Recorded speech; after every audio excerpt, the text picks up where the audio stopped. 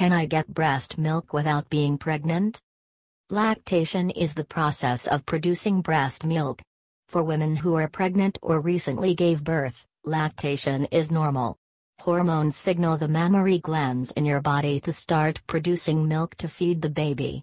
But it's also possible for women who have never been pregnant and even men to lactate.